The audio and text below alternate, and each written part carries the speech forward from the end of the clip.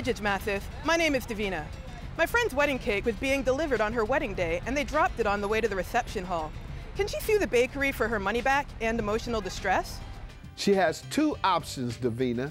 She can either sue the bakery for breach of contract for failing to give her a cake or sue for property damage if they were negligent in transporting her cake.